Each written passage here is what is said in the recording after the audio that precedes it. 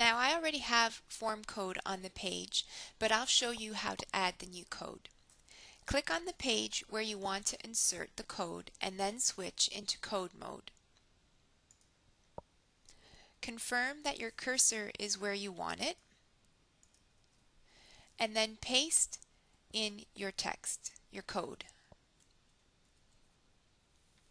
Switch back into design mode and make any changes you may want to the text formatting.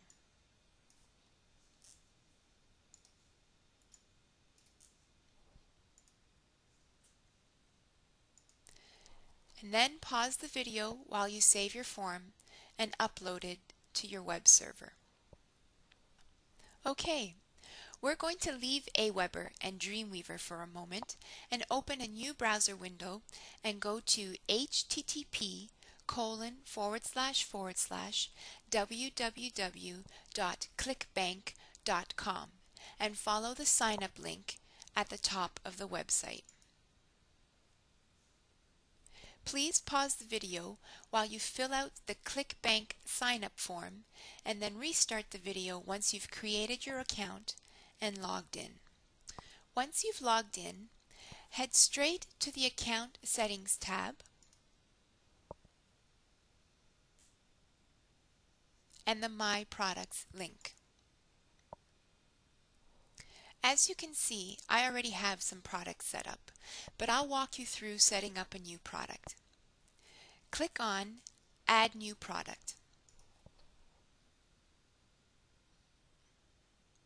The URL you have to enter is the address of your order verification page. So the URL to the new page we just created and uploaded to your web server.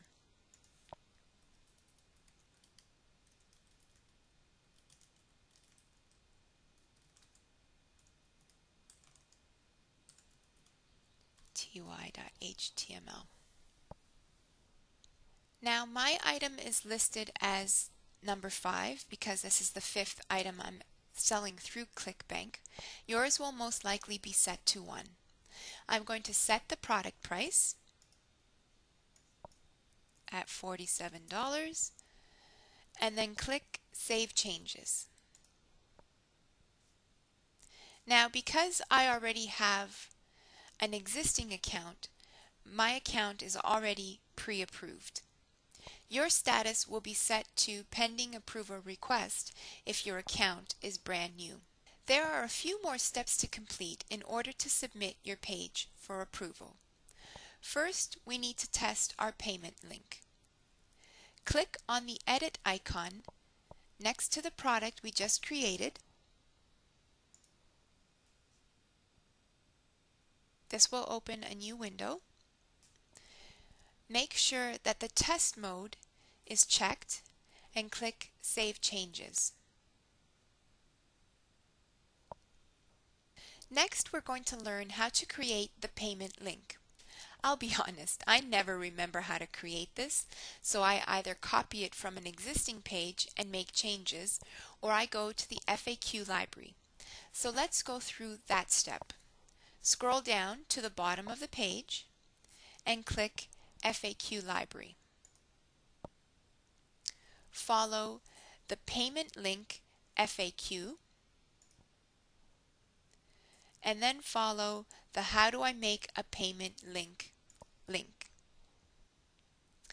The payment link is http colon forward slash forward slash item dot publisher dot pay dot clickbank dot net. So for my product, since it's the fifth product in my cart, the item would be 5. Publisher is the same name that we use to log in with, so for this account it's Fred Raw. If you're not sure what your publisher name is, scroll up to the top of the, the page, click on My Account, click on Account Home and it's the name that's listed right next to Account Home, the title Account Home. So mine is Fred Raw. Okay, so now I know my payment link is http colon forward slash forward slash 5 dot fredraw dot pay dot clickbank dot net. Next, go to the pitch page for the product you want to test. Pitch page is ClickBank's terminology for sales page. So let's head over to Dreamweaver and open our sales page and add the code. Please pause the video if you need to open your sales page. Okay, I have my sales page opened and I'm going to scroll down to the order box. To add the link, I'm just going to click on the Order How to Learn Any Language in a Flash text and then head down to the Properties box and enter the payment link URL. Then I'll click Save and upload it to my web server and then test the payment link by hitting the URL and going through the order process. Once you've tested the process, go back into ClickBank and follow the My Products link. Now again, you get to that by hitting the Account Settings tab and then clicking on My Products. Edit the product you've just created and disable test mode and save then click Save Changes.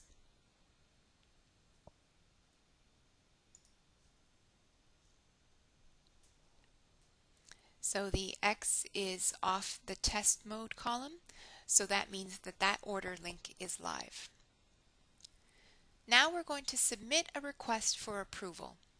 Again, you won't be able to see this on my screen as I've been pre-approved, but on your screen you will see Request Product Approval. A new form will open. Just verify the information on the form is correct and complete the additional required information. Then click Submit Product Approval Request. Once that is done, your site status will be set to pending approval.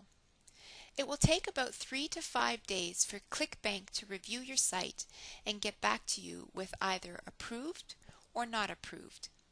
If your site is not approved, they will give you very specific reasons why.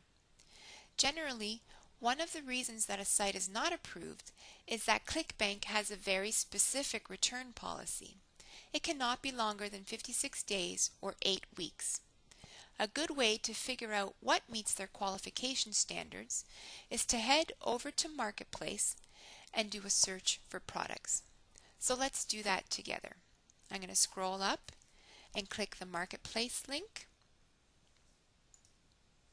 I'm going to choose the category Marketing and Ads with a subcategory of New Products. And then I'll click Go.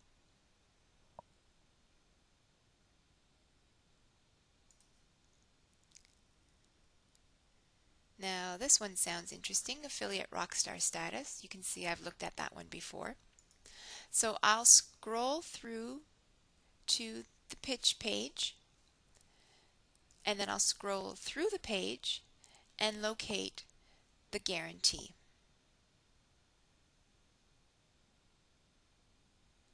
It should be close to the bottom. And there it is, unconditional money back guarantee. In the third bullet point, you see, just let me know within 56 days and I will instantly issue you a full and courteous refund. Now that's just one example. Poke around the marketplace and view a few other pitch pages to get some additional ideas. One more thing I want to mention. There is a fee of $49.95 to become a publisher. At some point in the product setup process, it will mention the fee. You will need to pay it before your product is approved. If you follow the steps outlined in this video, you will be able to integrate your Aweber autoresponder service as part of your ClickBank sales process. If you have any questions, don't hesitate to ask.